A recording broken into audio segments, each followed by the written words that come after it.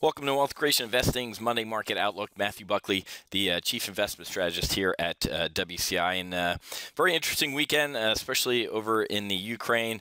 Uh, Ukraine saying that the Russian troops are preparing for a ground invasion. There was a shootout. Uh, at last reports that I saw, about five people were killed in a clash in eastern Ukraine. Perfect pretext for Putin, who already, quote, says he has the the authority of his, whatever he calls it, parliament to, to, to use force or um, to protect ethnic Russians in eastern Ukraine. Perfect pretext for him to go in there. Uh, this is going to get uglier as we sit here uh, on our hands. As the United States, the European clown car do absolutely nothing.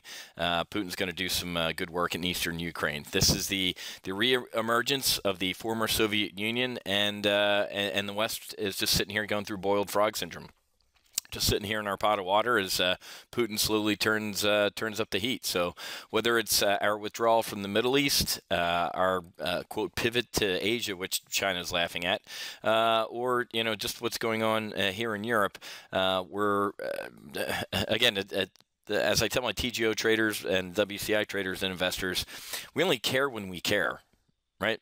We only care when the media tells us to care, and when uh, it, will be too late by the time something really bad happens uh, overseas. So uh, I'm going to be hedged and ready for these uh, these type of events, uh, and I hope you are too.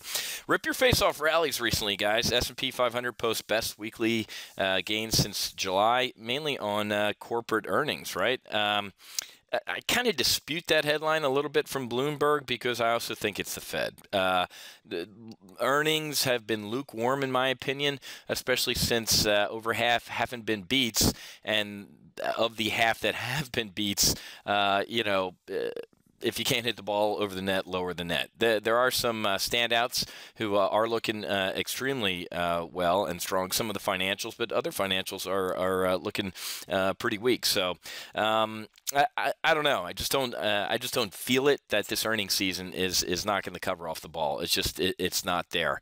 but who cares? We have a Fed that's propping up the market, so we we melt up higher.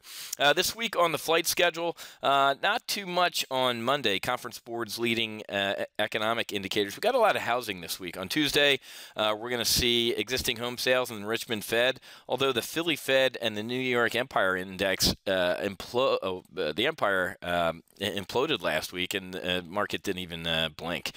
And the Philly he- Fed, I think, while it was good, uh, the guts of it, when you actually read the report, the, their hope index or, or so-called hope index was the lowest it's been in recorded memory, I think. Um, but this one gets my attention. Tuesday night, as we're snugging a bug in a rug, or as I'm watching the Flyers, hopefully beating. Um, uh, uh, the, the, the, folks at uh, home there, we're going to see the HSBC Flash Manufacturing PMI. This will be a potentially market moving event with uh, with U.S. equities markets. Okay, so be ready Wednesday morning for the market opening, potentially with a gap up or gap down based on uh, what happens over there with China's PMI. We saw their GDP come out with a quote better than expected beat last week, and, and we didn't bat an eye. Uh, we went up, even though it was the lowest print in 18 uh, months. A lot of European PMI coming out uh, Wednesday morning as as uh, we're uh, slug as bugs. new home sales on Wednesday um, and flash manufacturing PMI Thursday, some weekly unemployment claims, durable goods orders, uh, and core durable goods. Remember, whenever you see the word core, it means X something, uh, and in uh, this case, uh, it's X transportation items, right? You know, Boeing triple sevens and all those type of things. And then on Friday, uh, we're going to see some flash services uh, PMI and revised University of Michigan consumer sentiment yawn.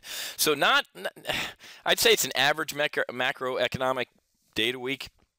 For us, earnings will be the driver of this market, and then maybe uh, maybe that uh, China PMI. If it's a big miss or a big hit to the upper downside, we may feel that across the uh, the Pacific. Okay, uh, got to run. Happy hunting. Make sure you hedge. Have a great week, and I'll uh, I'll talk to you uh, with Friday's market wrap up here at Wealth Creation Investing. We'll see you.